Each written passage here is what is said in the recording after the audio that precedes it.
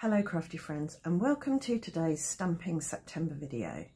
Today I'm going to take you through 10 ways of colouring stamped images. And for my stamping today I've chosen this very simple rubber stamp. It's a takeaway hot drinks container and I've chosen this because it will really make it easy for me to show you the different ways of colouring in. I've used my Tim Holtz platform to stamp on my card fronts and I use this because it's the best platform that I have for stamping with rubber stamps. Before we get started with the actual colouring, it's worth saying, I think, that probably the most important decision that you can make, or two most important decisions that you can make when setting out to colour in a stamped image is choosing the right paper for the job and choosing the right ink for the job. So today I'm going to be using three different papers. I've got some mixed media paper here, which is a very robust paper that's great for all sorts of water-based mediums. I've got some smooth white cardstock here, which is great for blending on and using colouring pencils with. And I've got some Spectrum Noir marker paper here, which is great for using with alcohol markers. I've also got two black inks. Obviously you don't need to stamp your stamped image in black ink, but the type of ink is really important. So StazOn is a solvent ink. It is permanent once dry when used with water-based media. So I'm going to use this with some of the water-based media that I'm going to do today. I've got Memento Dewdrop Tuxedo Black, which is a, I think it's water-based, but it is fairly permanent once dry. But this is good particularly for using with alcohol markers because it won't shift with alcohol. If you try using alcohol markers on StazOn, you will find that the black ink spreads out because of the solvent that's used. Pick the right paper for your medium, pick the right inks for your medium. I have also on some of these heat embossed them with clear embossing powder so I've got black ink trapped under clear embossing. That's another way, if you haven't got a solvent-based ink pad, you can use a water-based ink pad but trap the ink under embossing and that way it will be waterproof. So that's just a little note to get us started. So the first technique we're going to look at is watercolouring. Now you can use actual watercolours if you want or you can use any water-based ink I'm going to use Distress Oxides today. And I've got dried marigold, tumbled glass and shaded lilac to colour my container. And I'm going to just add a little bit of water to the paint and paint it on. This paper is mixed media paper because it handles water really well. You could use watercolour paper and I've stamped this in Memento Tuxedo Black ink but I've also heat embossed over it in clear embossing powder which makes a nice little barrier and just makes it a little bit easier to colour in because the colour shouldn't cross over the black barrier into the next area. I'm going to give that a little dry with my hairdryer and I think we'll paint the top blue I do have a series on watercolouring so if you want more detail about watercolours and how to use them then check that out. I will leave a link in this video's description just click the more arrow. That series will take you through some cards that I've made with watercolours but also talk about the particular brushes and papers and paints that I like to use when watercolouring. So I have just painted a flat wash there and now I'm just going to go in and add another layer of colour along the edges here to imply some shadows. This is wet on dry. I'm just dragging it across a little bit to leave some lightness towards the middle. You can add a bit of water to fade it out, but I'm going to leave that as it is right now. I'll pick up some more shaded lilac and add those shadows there. You could choose different colours to create your shadows. You could choose a darker purple or a darker orange. I think it might be worth adding a bit more blue. So just get a little bit of salty ocean here for a darker blue. Just add your shadows in or your darker areas. We can put a bit of extra orange underneath the lid where there would be a shadow and underneath the sleeve here. That just creates some nice dimension. Get any harsh lines before the paint or the ink has dried, you can fade those out with a wet brush or you can leave the harsh lines in. It just depends on the look you're going for. But as I say, if you want more detail on watercolouring, then check out that playlist linked in the video description. So I'd love to know what your favourite method of colouring stamped images is. Do let me know in the comments. For technique number two, we're going to look at watercolour pencils. So I've got some Faber-Castell watercolour pencils here. These are just pigment watercolour paint in stick form and you can use them in a few ways. For the lid, I've got this light blue and I'm laying down some colour at the edges where I want it to be dark this is mixed media paper with Memento Tuxedo Black ink and heat embossing. So that's the same as the watercolouring that we did. And now I've got a wet paintbrush and I can use it to activate the paint and spread it out like watercolour.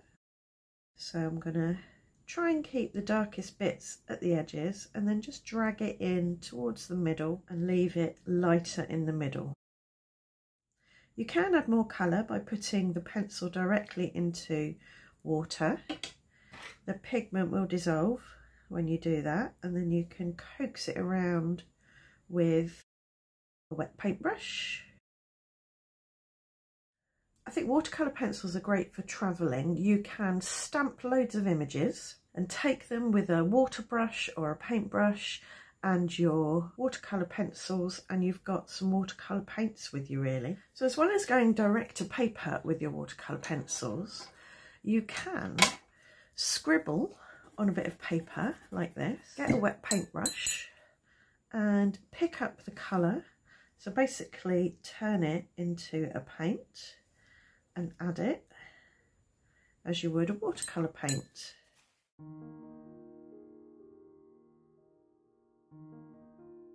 Obviously, the harder you press, the more pigment you'll lay down. So on this bottom part here, I'm not pressing very hard at all. So it's just a light wash of colour there. And I can hydrate that with water. And go back in and add some stronger colour at the edges.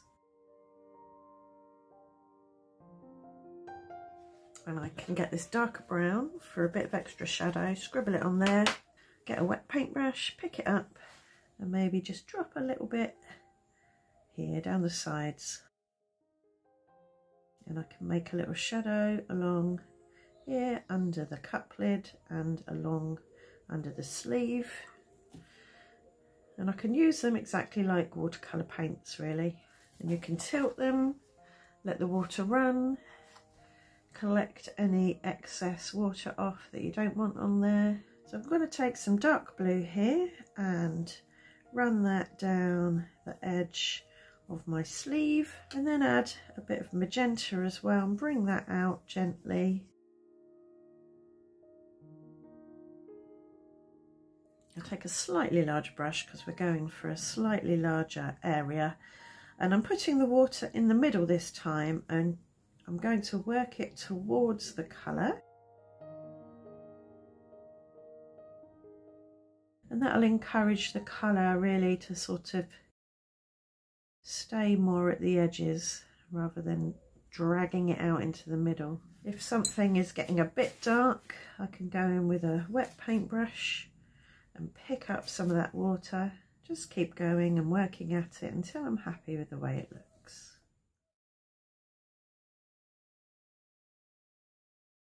Technique number three is to use water-based markers. So these are zebra Mildliners. You can use any water-based marker that you have.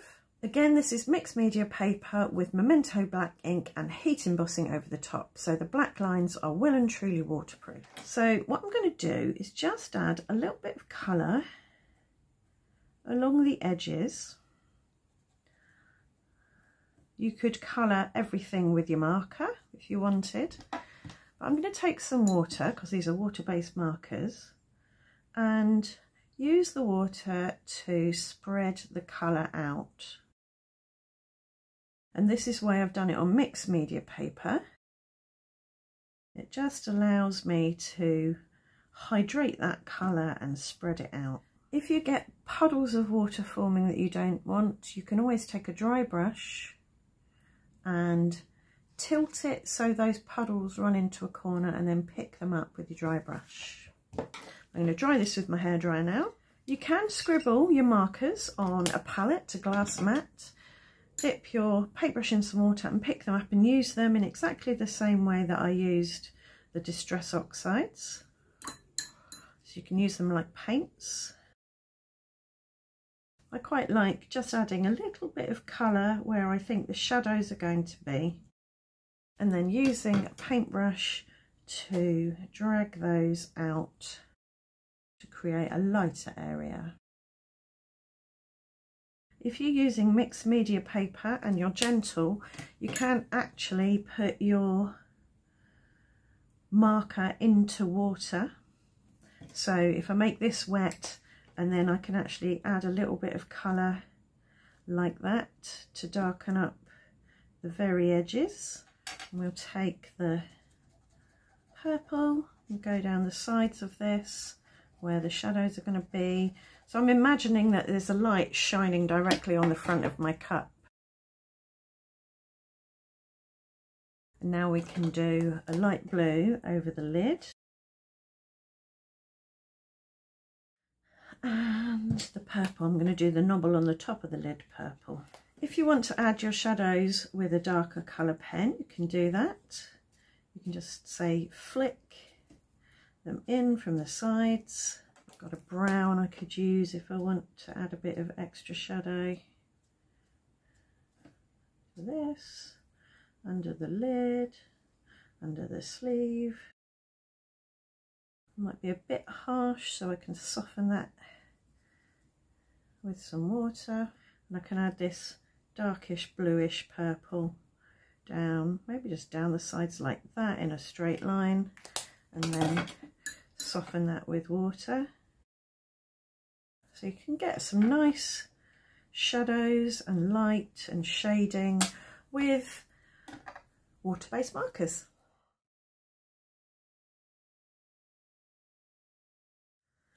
One of my favourite ways to colour stamped images is to smush them. This is a rather sort of chaotic and haphazard way of colouring, but it's fun. And this is mixed media paper again with black Memento ink and heat embossing. And I can take my mini smusher and smush it on. So that's the dried marigold. I shall dry that. Now I'll take a little bit of shaded lilac, add some water, pick it up with my smusher which I have cleaned and smush it in sort of the middle area and dry that again. I think I'll add another layer of the shaded lilac. And now for some tumble glass. If you dry between each layer of smushing, you will hopefully not make mud. So blue and orange are complementary colours. They are opposite each other on the colour wheel, which means if you mix them together, they will neutralise each other and make a muddy grey brown. But if you dry the orange before applying the blue or vice versa, then they should hopefully, with Distress Oxides at least, layer rather than mix and make mud. Just going to pick up a little bit of dried marigold and tap on a few splatters.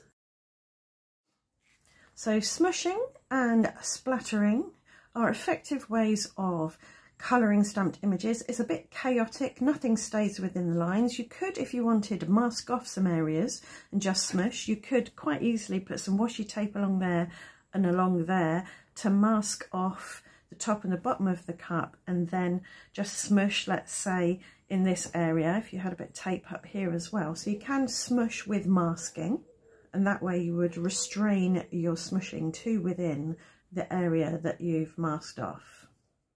If you want to know how to make and use a smusher, then check out my smusher videos playlist. It's linked in the video description below. So speaking of masking then, I've got some washi tape here. I'm going to mask off around the sleeve of my cup. I've also added a couple of post-its. I'm going to mask that area off there. There's a little bit down here that's not covered. So everything on my card front is covered apart from this little sleeve. So I'm going to spritz with this spray. Sometimes this particular spray can be a little bit of a pickle. Sometimes it sends out a nice fine mist. Other times it squirts it like a fire hose. So we'll just see what we get today. But the idea is you can spritz onto an open area that you've masked off. You can also use a paintbrush to pick up some spritz and spatter it. So you can spritz and spatter. This gives a nice effect, hopefully, when we remove the masks. Right, let's see if this has uh, worked at all.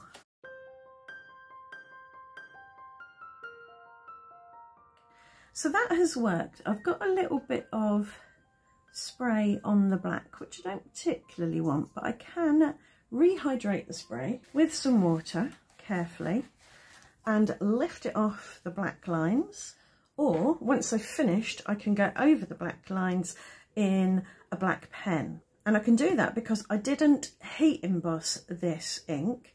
This is StazOn on on mixed media paper and I chose to do StazOn rather than Memento with heat embossing because when you're doing masking you want your mask to be 100% in contact with the paper so nothing can seep underneath and I think sometimes if you've got a bit of heat embossing there it's slightly raised so you could get some seepage. So with this technique where I'm masking and let's say spritzing or splattering I might choose to do a non-dimensional image. So StazOn works because it's waterproof and it's flat.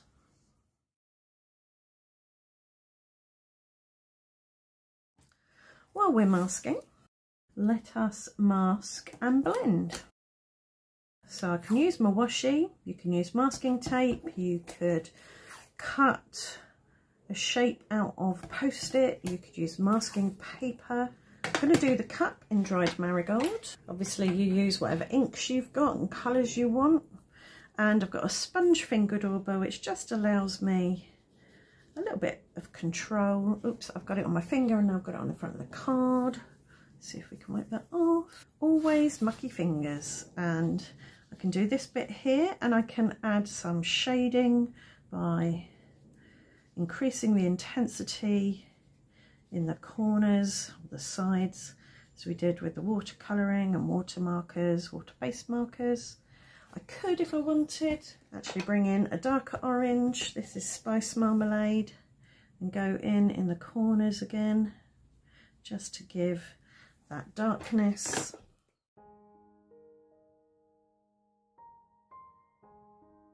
I can't remember if I said, but this is smooth cardstock with Memento ink on it. So the smooth cardstock is really good for blending and the Memento has been left to dry for a while so it won't smudge with the inks. Now we'll get the washi out again and we'll mask off the sleeve. So we'll go for the shaded lilac again.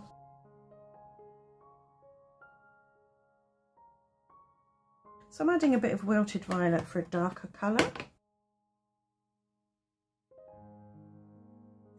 If your image doesn't lend itself to using washi tape as a mask, so for example, if it's not got many straight lines, maybe it's a critter or a character. Just stamp it on masking paper a few times and then cut out the different bits, the different areas and use those. Right, so what are we on now? Blue, tumbled glass. I think for a shadow, just use a bit of Salty Ocean. And there we have a blended image.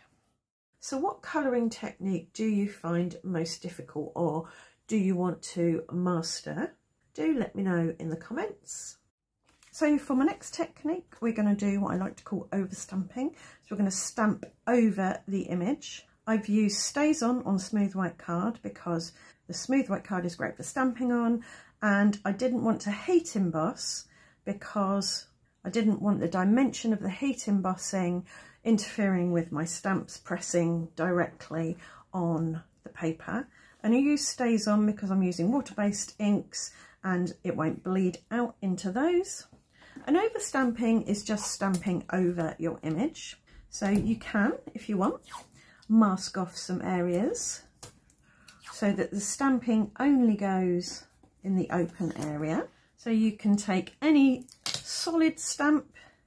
Let's have a look. What one's big enough to cover the whole of my sleeve? Probably that one. So I've got my stamp on the block. I've got my shaded lilac. I'm going to ink it up and stamp it on. Do that as many times as you like. If you want to add some shading, you can take a darker colour like Wilted Violet. And I don't know if you can see that, but you can see where the edge of the washi tape is here. So I know where to add this colour. I can just dob that on. So when I stamp this roughly where it was before. I should hopefully get some wilted violet on the edges. Yes, I have. And you can, if you want, take a textural stamp like this, ink it up, and then press that over. So you can add some texture as well, like that. And I'm going to give that a blast because there's quite a lot of ink on there now. And carefully, without getting my usual mucky fingerprints all over everything, peel that off. And there I have a stamped sleeve with some shading and some texture. Now if you want to be a little bit more, what shall we say, uh, arty-farty, you can take a stamp and stamp it on without masking. So it kind of, I've got inky fingerprints all over this already, but never mind. So you can kind of choose a stamp that is kind of the shape that you're looking for, but not exactly. So I've stamped this over the lid and it's gone over the edges, but it looks kind of cool like that. You could stamp that a few times. You could use a bit of darker ink just to add a bit of something.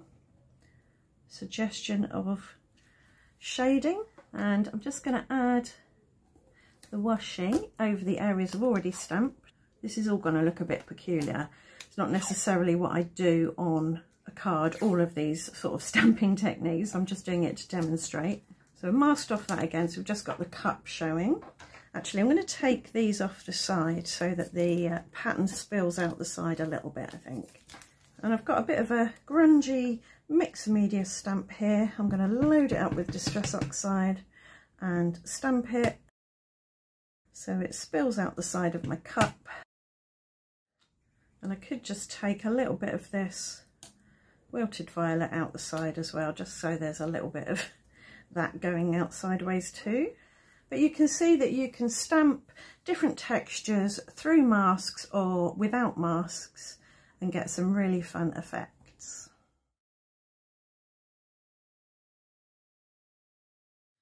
So now for something a little bit different, we're going to do some paper piecing. So I've stamped my cup three times, once on this bit of patterned paper, which is a light orange peachy colour with some white flecks on it. And then I've done a purple one, which is going to be my sleeve. And I've also added a thanks onto that with a separate stamp. And then a blue one, which is going to be my lid. So I'm going to cut this one out completely because this is the base. So there's my main bit. Now I'm going to cut out my sleeve and now I'm going to cut out my lid. Before I assemble, I'm going to take a black pen, can be any black pen, and just run around the outside of everything so that everything has a black line around its edge.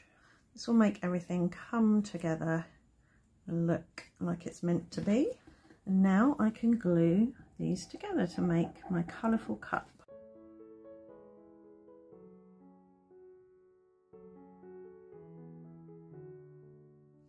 And I do want the little knobble to be purple. Once this is dried and stuck in place, I'll go around the edge of that little knobble in black, but I'll wait till that's dry because it's fiddly. There you go, paper piecing as a way of colouring stamped images.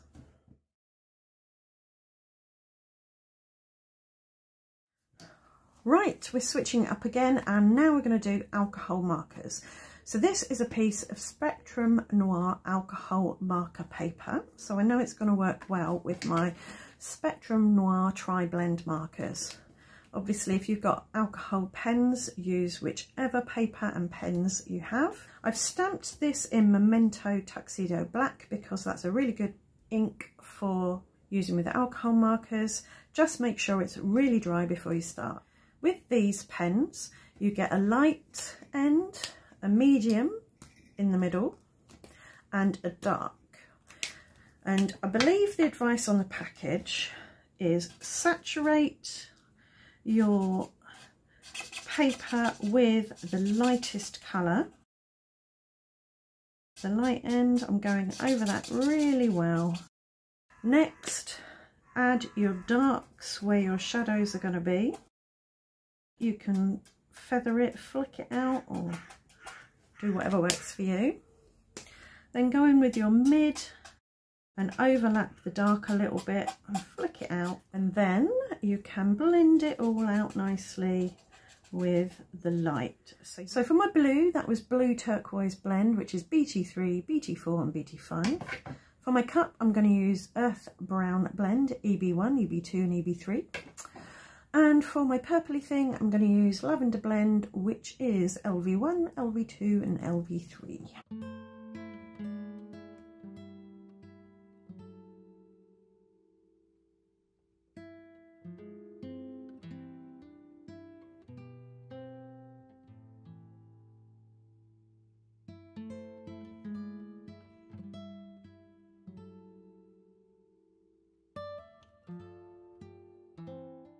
Just do the lid in the lightest purple. I don't need to worry about shading on that, I don't think, it's so small.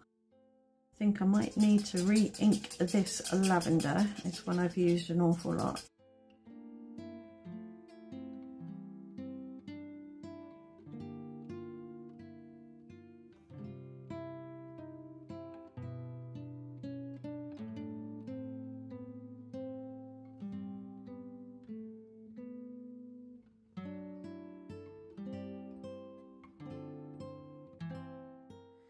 Once your alcohol markers are dry, you can go in with a white gel pen and add some highlights if you like.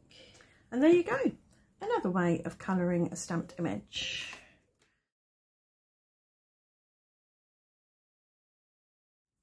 So now we're going to look at colouring pencils as a way of colouring our stamped images. This is smooth white card, which is nice for colouring on and I've stamped this in Memento Tuxedo Black without heat embossing because it's not really necessary. But there's no reason why you couldn't. And I've got my Polychromos pencils here. Prismacolor are some other nice pencils that work well but obviously just use whatever you have. So I'm going to start off with a light blue and a sharp pencil and just gently colour with a very very very light pressure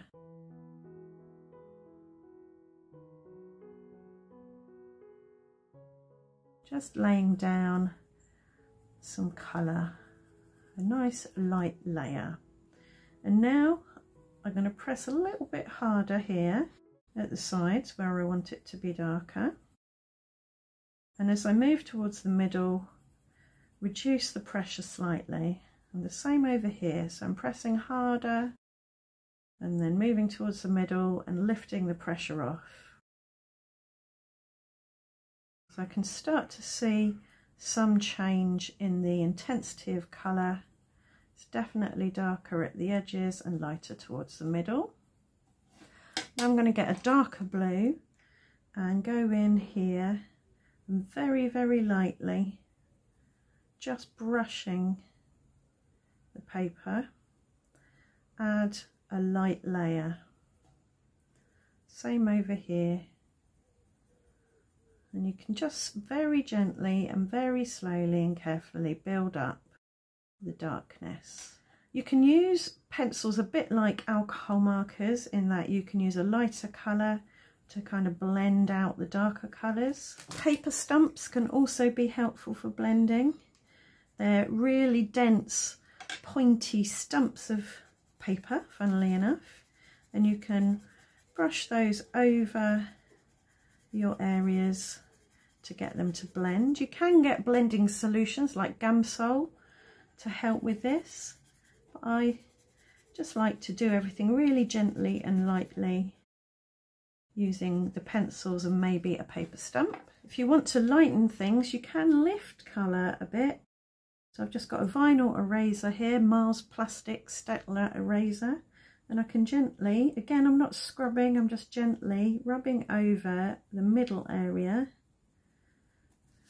And that will, ever so gently, lift up some of the area that I've got the light in my imagination shining on my cup.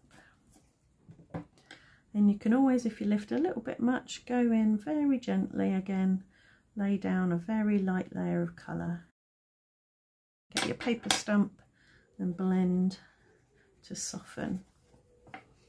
So now we'll do the cup this is light ochre. So what did I use there? I used light cobalt turquoise and light phthalo blue. This one is light yellow ochre and I've got an orange which is orange glaze.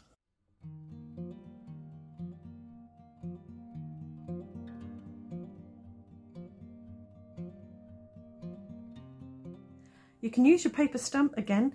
This has got blue on it so I'm going to maintain this end for cool colours and this end for warm colours.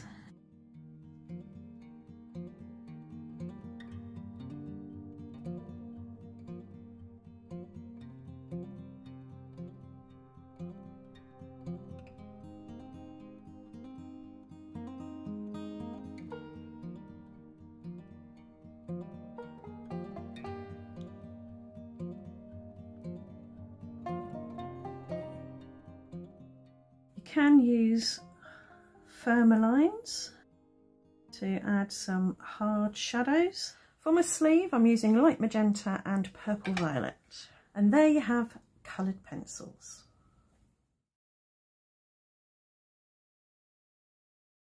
So there you go, that's 10 way to colour stamped images.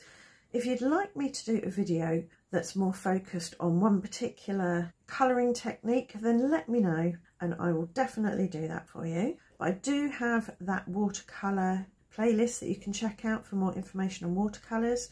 And as I said earlier, I do have a smoosher playlist. So if you want to know more about smooshing, you can check that out. Right, I hope you've enjoyed the video and it's given you some ideas of things you can do with the supplies that you already have in your stash. If it has, please do let me know in the comments, leave a thumbs up, subscribe, ring the notification bell, and I'll see you back here very soon for my next Stamping September video. Thanks for watching. Bye for now.